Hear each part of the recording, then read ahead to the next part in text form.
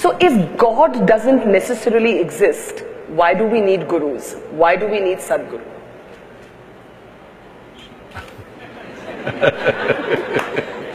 Is there a, my microphone? Okay, that's good.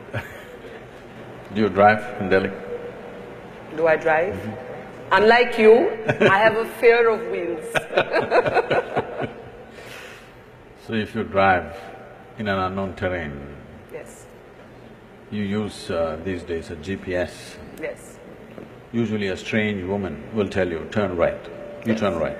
She says, turn left, you say, turn left. She says, make a U-turn, you make a U-turn. Why? Simply because you're… you're not familiar with the terrain. When you're in an unfamiliar terrain, it is sensible to take instructions. So, uh, are you… are you saying gurus are the new GPS? Not new, not new. Long time ago we've been, for a very long time, way before the GPS came. GPS means what? Guru Positioning System.